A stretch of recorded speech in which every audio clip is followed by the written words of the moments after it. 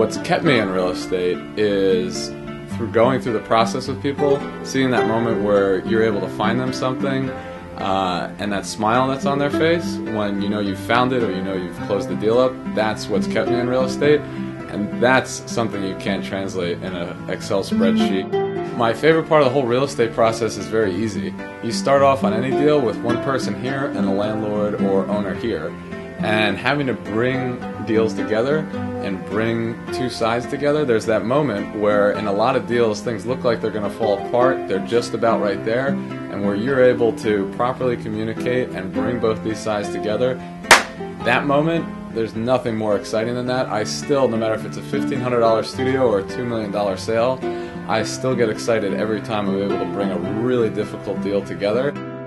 People should work with me because I bring a relentless passion every single day and at every step of the process. And it's an amazing thing. When you can help other people and in turn it helps you, wow, what a beautiful thing.